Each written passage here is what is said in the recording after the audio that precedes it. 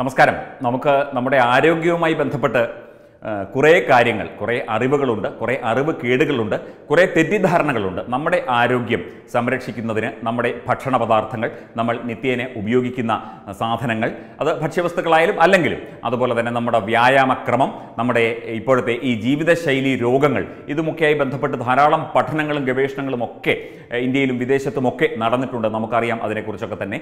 നമുക്ക് ആരോഗ്യകരമായ ഒരു ജീവിതം മുന്നോട്ട് നയിക്കുന്നതിന് എന്തൊക്കെ വേണം എന്നുള്ള പ്രാഥമികമായ കാര്യങ്ങളൊക്കെ സമൂഹ മാധ്യമങ്ങളിലൂടെയൊക്കെ ഡോക്ടർമാരും അങ്ങനെ ആരോഗ്യ വിദഗ്ധരും ഒക്കെ പങ്കുവയ്ക്കുന്നതൊക്കെ നമ്മൾ വായിക്കുന്നതാണ്. പത്രങ്ങളിലും അതിന്റെ റിപ്പോർട്ടുകളും കാര്യങ്ങളും ഒക്കെ വരുന്നതാണ് നമ്മൾ ശ്രദ്ധിക്കാറുണ്ട്.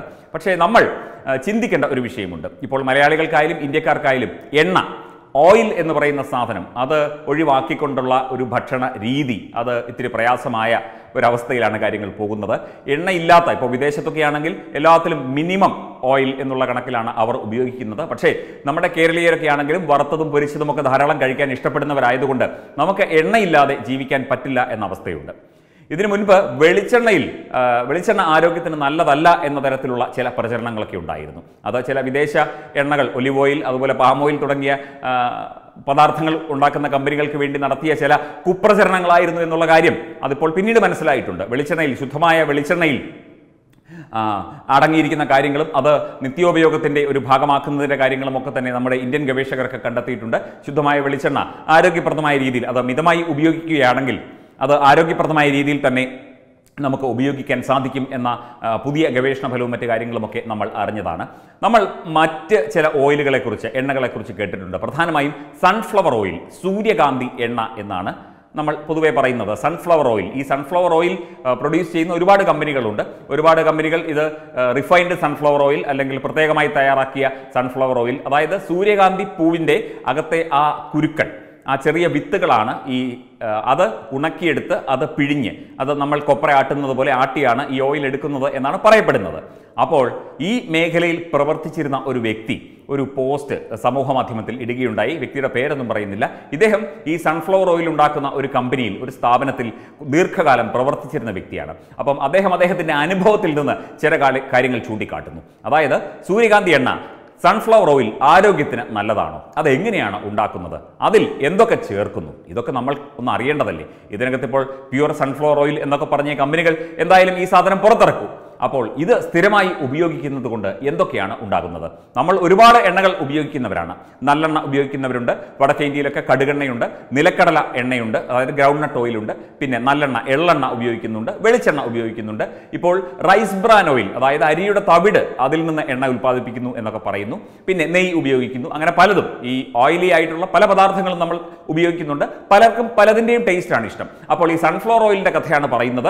അദ്ദേഹം ജോലി ചെയ്തത് സൺഫ്ലവർ ഓയിൽ നിർമ്മിക്കുന്ന ഒരു സ്ഥാപനത്തിലാണ് സ്ഥാപനത്തിന്റെ പേര് പറയുന്നില്ല. അദ്ദേഹം പറയുന്നത് ഇങ്ങനെയാണ്. കർണാടകയിൽ ബിഥാർ എന്ന സ്ഥലത്ത് സൺഫ്ലവർ ഓയിൽ കമ്പനിയിൽ ഇദ്ദേഹം ദീർഘകാലം ജോലി ചെയ്തിട്ടുണ്ട്. മലയാളി മാത്രമല്ല തലയ്ക്ക് വിവരമുള്ള ആരും ഇത് ഉപയോഗിക്കില്ല എന്ന് പറഞ്ഞുകൊണ്ടാണ് അദ്ദേഹം ആ എടുത്ത് തുടങ്ങുന്നത് തന്നെ. അതായത് തലയ്ക്ക് വിവരമുള്ള ആരും ഈ സൺഫ്ലവർ ഓയിൽ അല്ലെങ്കിൽ സൂര്യകാന്തി എണ്ണ സ്ഥിരമായി അല്ലെങ്കിൽ ഉപയോഗിക്കുകയില്ല എന്നാണ് അദ്ദേഹം പറയുന്നത്. അദ്ദേഹത്തിന്റെ അനുഭവത്തിൽ നിന്നാണ് കേട്ടോ. മലയാളി മാത്രമല്ല തലയ്ക്ക് വിവരമുള്ള ആരും ഇത് ഉപയോഗിക്കില്ല. സാധാരണ സൺഫ്ലവർ സീഡ് കറുത്തിരിക്കും. അത് ഒരു സൂര്യകാന്തി വീട്ടിലുണ്ടെങ്കിൽ നിങ്ങൾക്കത് പൊട്ടിച്ച് നോക്കിക്കഴിഞ്ഞാൽ മനസ്സിലാകും. ഇത് ആട്ടിയാൽ കറുത്ത് കൊഴുത്ത് വഴുവഴുപ്പും ദുർഗന്ധവുമുള്ള ഒരു എണ്ണയാണ് കിട്ടുന്നത്. ഇതിൽ ആക്ടിവേറ്റഡ് കാർബൺ ബ്ലീച്ചിങ് എർത്ത് എന്നീ കെമിക്കലുകൾ ചാക്ക് കണക്കിന് ചേർത്ത് മൂവായിരം ക്ഷമിക്കണം മുന്നൂറ് ഡിഗ്രി സെൽഷ്യസിൽ തിളപ്പിച്ച് അതേസമയം തന്നെ കടഞ്ഞെടുക്കുന്നു.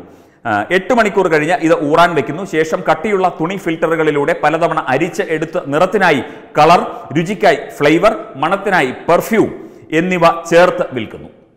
അതായത് ഈ കിട്ടുന്ന സൂര്യകാന്തി എണ്ണ അത്ര നല്ല സൂര്യകാന്തി എണ്ണയല്ല. എന്നല്ല സൂര്യകാന്തി എണ്ണയേ അല്ല എന്നുള്ളതാണ്. സൂര്യകാന്തി എണ്ണയിൽ ഈ കറുത്ത് കൊഴുത്ത് ദുർഗന്ധമുള്ള ഈ എണ്ണയിൽ ഇത്രയൊക്കെ സാധനങ്ങൾ ഫ്ലേവറും കളറും പെർഫ്യൂമും വരെ ചേർത്താണ് നമ്മൾ സൂര്യകാന്തി എണ്ണ ശുദ്ധമാണ് എന്ന് പറഞ്ഞ് പാക്കറ്റ് കണക്കിന് വാങ്ങി ഉപയോഗിക്കുന്നത് എന്നത് നമുക്കറിയാവുന്ന കാര്യമാണ്. അപ്പോൾ ഇത് ഒരു അപകടകരമായ സൂചനയാണ് നമ്മുടെ ആരോഗ്യത്തിന് എന്ന് ചൂണ്ടിക്കാണുന്നു. മാത്രമല്ല ഈ യഥാർത്ഥ സൺഫ്ലവർ എട്ട് കിലോ സീഡ് വേണം ഒരു ലിറ്റർ എണ്ണ എടുക്കാൻ. അദ്ദേഹത്തിന് അതിന്റെ കണക്കറിയാം. ഒരു കിലോ സീഡിന് നൂറ്റി എൺപത് രൂപയോളം വില വരും. ഇതിന്റെ കീടൻ അഥവാ ഇതിന്റെ ആ മട്ട് മട്ട് ചന്ദനത്തിരി സോപ്പ് എന്നിവ ഉണ്ടാക്കാൻ ഉപയോഗിക്കുന്നു. അതാണ് ഉണ്ടാക്കാൻ കൊണ്ടുപോകുന്നു. ഈ ഓയിൽ കഴിച്ചാൽ ബ്ലഡ് ക്യാൻസർ ആണ് ആദ്യത്തെ സൈഡ് എഫക്റ്റ് അല്ലെങ്കിൽ ആദ്യത്തെ അവസ്ഥ. All India institute of medical science ഡൽഹിയിൽ ഒരു മാസം അയ്യായിരം പേരെയാണ് ബ്ലഡ് ക്യാൻസർ മൂലം അഡ്മിറ്റ് ചെയ്യുന്നത്.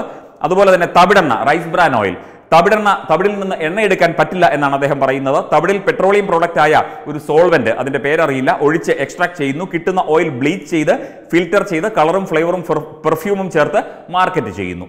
ഇത് കോസ്റ്റ്ലി ആയതുകൊണ്ട് ഇപ്പോൾ ഏറ്റവും കുറഞ്ഞ വേസ്റ്റ് ഓയിലുകളാണ് വിപണിയിൽ കിട്ടുന്നത്.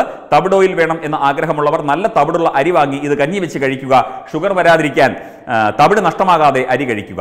ഈ കൃത്രിമ എണ്ണകൾ കഴിച്ചാൽ blood cancer liver kidney damage prostrate ഗ്രന്ഥി തകരാർ പ്രമേഹം വയറ് വീർത്ത് വരിക മുട്ടുവേദന എന്നിവയ്ക്ക് കാരണമാകുന്നു. ഇവിടെ നൂറ്റി ഇരുപത്തിയഞ്ച് രൂപയിൽ താഴെ കിട്ടുന്നത് വണ്ടിയിൽ നിന്ന് ഊറ്റുന്ന കരിയോയിലും ക്രൂഡ് ഓയിൽ വേസ്റ്റുമാണ് ഇത്തരം എണ്ണകളിൽ ഉപയോഗിക്കുന്നത് എന്ന വളരെ ഗുരുതരമായ ഒരു കാര്യം കൂടി അദ്ദേഹം ചൂണ്ടിക്കാട്ടുന്നുണ്ട്. അതുപോലെ ഡാൽഡ മണ്ണിൽ കുഴിച്ചിട്ടാൽ പോലും കേടാകില്ല എന്ന് പറയുന്നു. അതുപോലെ പൊറോട്ടയിലും ബിരിയാണിയിലും സൺഫ്ലവർ തവിട് ഓയിലുകൾ ഡാൽഡ എന്നിവ കോരി ഒഴിക്കുകയാണ്.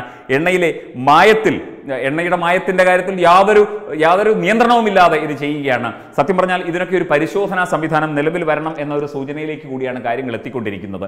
നമുക്ക് എണ്ണ എന്ന് പറയുന്നത് നമ്മുടെ ജീവിതത്തിന്റെ ഭാഗമാകുന്നിടത്തോളം കാലം അത് നമുക്ക് ഉപയോഗിച്ചേ പറ്റൂ എന്ന ഒരവസ്ഥയിൽ പലതരത്തിലുള്ള എണ്ണകൾ അതായത് ഓയിൽ എന്നേ പറയുന്നുള്ളൂ. ഈ ഓയിലുകളെല്ലാം ഇത്തരത്തിൽ കെമിക്കലുകളും രാസവസ്തുക്കളും മറ്റ് വിഷ വിഷവസ്തുക്കളും ചേർത്താണ് ഇതൊക്കെ പ്രോസസ്സ് ചെയ്യുന്നത്. ഇതൊക്കെ പരിഷ്കരിച്ച് ഇതൊക്കെ പ്രത്യേക രീതിയിൽ കുപ്പിയിലും പാക്കറ്റിലുമാക്കി നമ്മൾ കഴിക്കുന്നത്. സൺഫ്ലവർ ഓയിലിന്റെയും തവിടെണ്ണയുടെയും ഒന്നും കാര്യം വ്യത്യസ്തമല്ല.